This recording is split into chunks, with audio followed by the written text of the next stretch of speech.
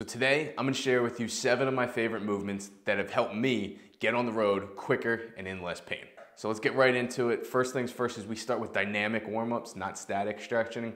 Uh, it helps get the blood flowing and it just gently eases into the motion. So the first one I like to do is just a basic knee hug. You're gonna go ahead, stand tall and alternating legs. You're gonna pull your knee towards your chest.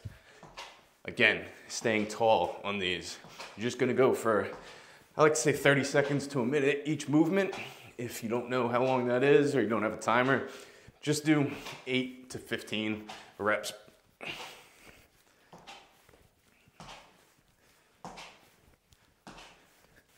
Once you're done with the knee hug, I like to move on to a quad stretch. So you're just gonna pull the back of your ankle towards your glute.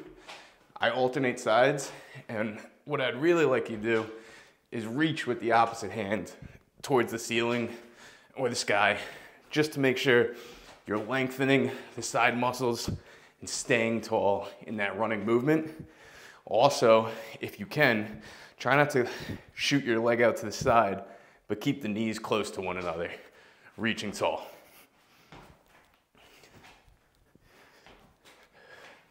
Again, eight, 12 reps each leg about 30 seconds to a minute. Once you get that, next movement, piriformis stretch. It's gonna be kind of a figure four where you reach your leg in front of you and gently pull your shin towards your chest. So the movement isn't your chest towards your shin, but again, staying tall, common theme in running. Pull that leg towards your chest gently. And you can imagine, if you look at it from the front, kind of looks like a pigeon pose stretch. You're just gonna open up that posterior chain. Ooh, here's some cracking, that's good. Just know your limitations, get warm. After that, we'll do a lunge and a twist. I like to do a reverse lunge. It's easier on my knees. At the bottom, I'll reach towards the side of the leg that's in front, the other direction, and stand. 8 to 12 reps, 30 seconds to a minute.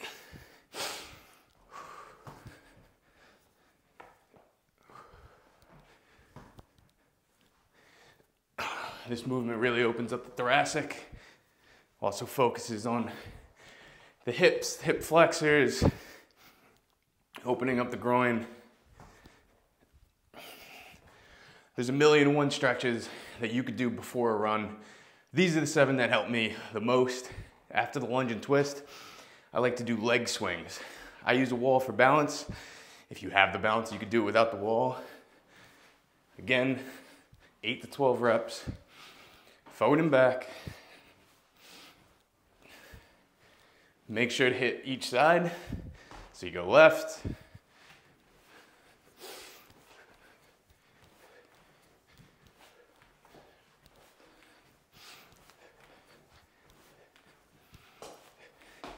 And then I like to do side to side. So sweep up and down to get your adductors firing, hips feeling loose.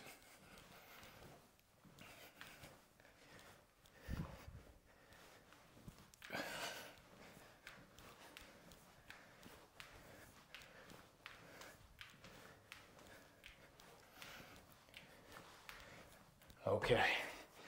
After the leg swings, you go upper body stretches, opening up the chest. Huge shout out to Critical Bench for posting a run warm up that inspired most of this warm up, uh, specifically all the upper body focus to make sure your chest is open and you have room for all that good air coming in during your run. You could do chest openers, hugs, reach up overhead. I like to even incorporate some single arm. Whatever feels right, just 30 seconds to a minute, opening up your upper body. After that, one of the biggest things I learned about myself in the mornings is that I feel it in my calves, my ankles, my shins. They're just not ready to run at 5.30 in the morning.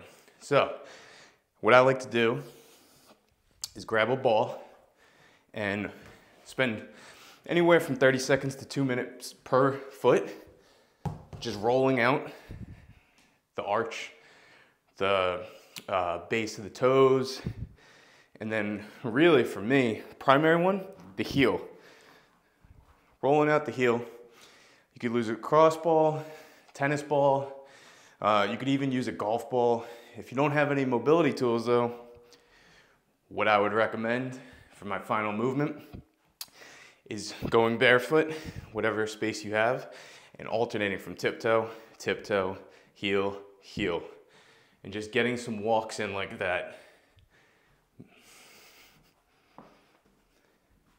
Make sure to alternate which side you start on, right and left.